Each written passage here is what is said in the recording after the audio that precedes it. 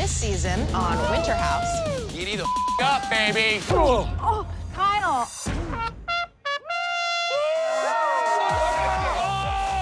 Who needs the Olympics? I'm sorry, Paige. I was trying to hit Craig. I will literally come over and jam my pole up your fing ass.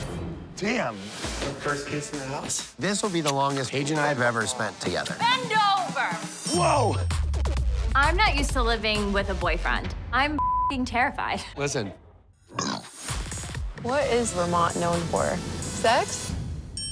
I've always been very like sexually curious. I don't like when it's too long. You just gave hope to everyone.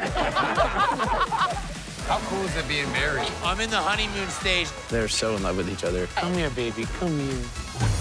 It's kind of sickening. Corey's my little brother in the fraternity. Then you're essentially his role model. Oh. So we're Yeah. Boy's the heartthrob of our house right now. the girls in the house have no idea, but I'm kind of pursuing all of them at this point. You're single, right? Yeah, ready for some fun. I'm really excited to get to know Rachel. Go make your move. We're here, babe. Holy cow. There's definitely unresolved conversations. There's no handbook on how to handle this. I understand that. It hurt. When Lindsay announced that her and Carl were together that same night, according to Austin, I woke up with her hand on my dick. Holy sh! I've seen his wife posting on social media. The power of divorce. Where are you and Katie right now? I just can't imagine my life without her.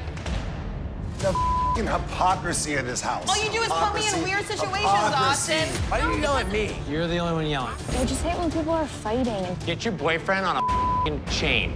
You just touched my fucking girlfriend in your hand. Knock the out. I will throw you through a goddamn window. Do it! Get him the out of this goddamn house now. He's gone.